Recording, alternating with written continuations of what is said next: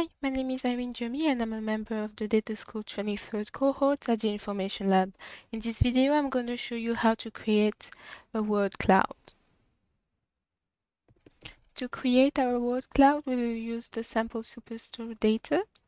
A word cloud can be used to analyze survey data and most popular word in a song, but for the, the purpose of this tutorial, I'm going to use sample superstore. So first let's drag the category into text.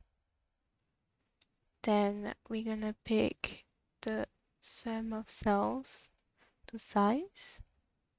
And next we want to change our mark type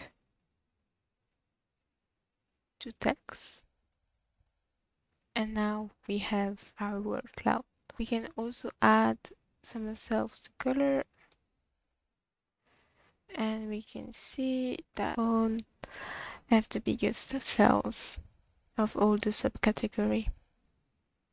Thank you for watching this tutorial. I hope you find it useful. Hopefully this video makes you feel more comfortable creating word clouds. Please check the description down below for additional materials.